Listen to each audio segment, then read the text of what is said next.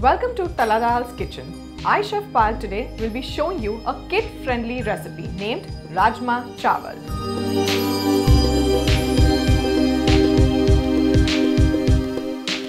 So for the Rajma Chawal, the first step would be to heat some oil in a pressure cooker. So our oil is hot enough. To this we are going to add some cumin seeds and some hing. And we'll saute this for a few seconds. To this we'll add some onions. I've sliced the onions and some ginger garlic paste.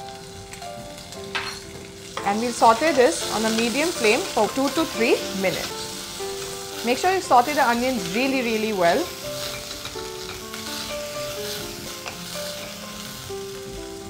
To this we'll add some tomatoes,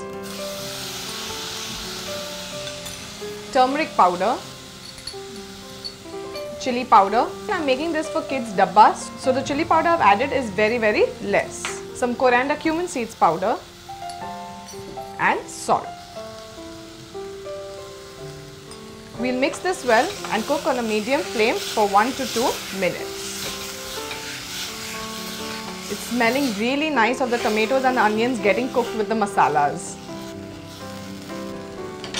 To this we'll add some rajma. I have soaked the rajma overnight and drained them.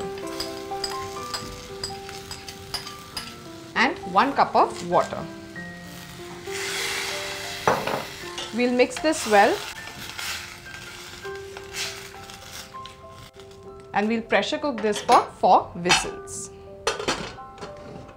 So it's been 4 whistles and our cooker has been cooled down as well. So let's open and check it. Yes. So now all we have to do is add our cooked rice. You can prepare this rice at night and keep it in the fridge and in the morning once the cooker is done all you have to do is add the cooked rice, toss it well and cook it for 2 minutes. So let's do that. So mix it lightly. You might feel that there is little extra water but do not worry as it's a tiffin recipe you don't want that real dry rice.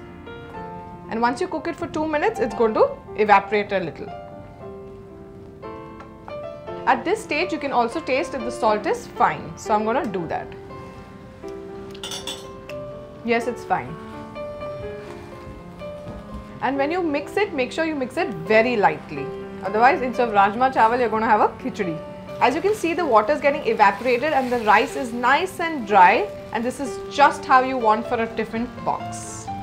So it has been 2 minutes and the rice has been nicely mixed with the rajma. Now we'll add some coriander and mix it well. And now let's serve it.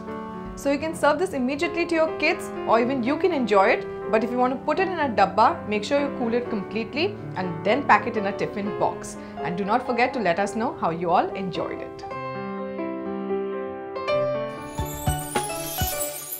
Download the Tarla Dalal app on your Apple and Android devices. Follow us on the Facebook and tarladalal.com. If you enjoy our recipes, click like. To see more of my recipes, click here. Please share your comments. I would love to hear them. I'm waiting for them.